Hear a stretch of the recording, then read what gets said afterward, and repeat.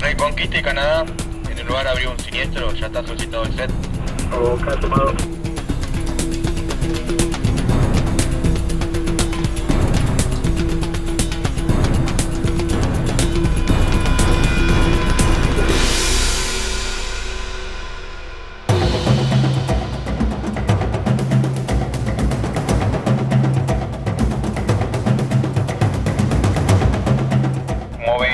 339, acérquese de apoyo. Uno de los vehículos se dio a la fuga. Por seguimiento, el mismo ingresó al supermercado que se encuentra en Aguado y Buenos copiado. Ahí me voy arrimando.